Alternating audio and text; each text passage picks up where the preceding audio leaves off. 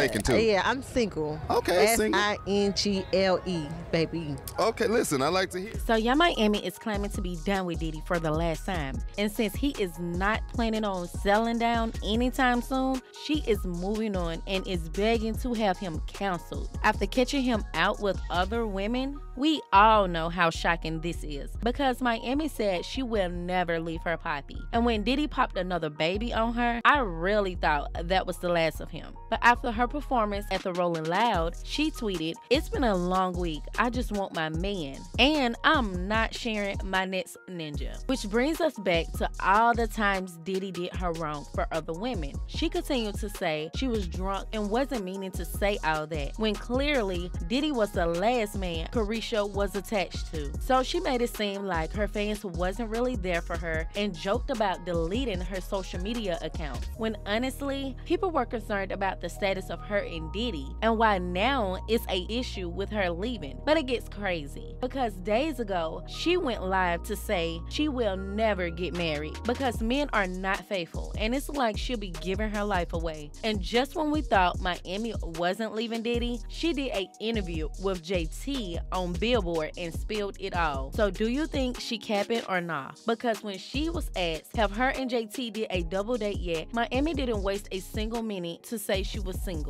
And it's been over a year since Miami and Diddy admitted to being in an open relationship. I'm single, you know. I'm single, but I'm dating. I'm just taking my time with life. Okay. Mhm. So what we is? We date. We dating. We go have dates. We friends. Okay. We go to exotic locations. we have great times. Mm. When he appeared on her podcast, Caresha Please, she told him they go together real bad. After asking him if he was a cheater, his response was not no more. Are you a cheater? Now I used to be a cheater. I'm not a cheater no more. Used to be. I'm a I'm a truth teller now. You're an honest man. Honest. I'm gonna give it to you honest.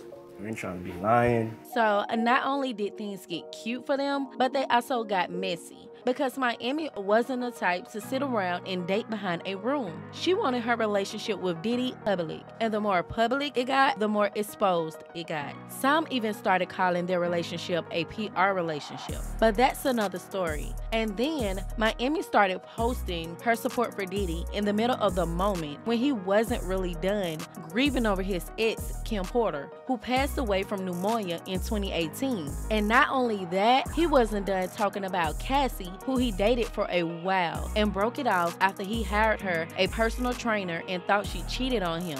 And he still wasn't ready to commit to Miami for the simple fact that he never really said they dated. Miami assumed they were dating, and after his birthday, he screamed, Ain't nobody loving him like she is. Ain't nobody loving me like this. And when she gifted him a iced out chain and a medallion to match, Diddy knew he had Miami in a chokehold. And right when she thought he cared, he dropped her allowance money, claiming she spent too much. Then they deleted each other on social media and broke up over the situation. But days after, Diddy gifted her flowers to come back. And do you think he changed? No. He still played dirty, and his ex Gina was all in on it because she made sure Miami knew she wasn't going anywhere. And after Diddy welcomed a new baby with Dana Tran, a girl he met and had a one night stand with that wasn't supposed to get pregnant, ended up pregnant by him during the time he was involved in this open relationship with Miami was a bit sour because Miami stuck around and even Gina called her out. Like when she beefing with you over a ninja, but whole time he got somebody else pregnant. And Miami response was Gina was in an even worse situation because Diddy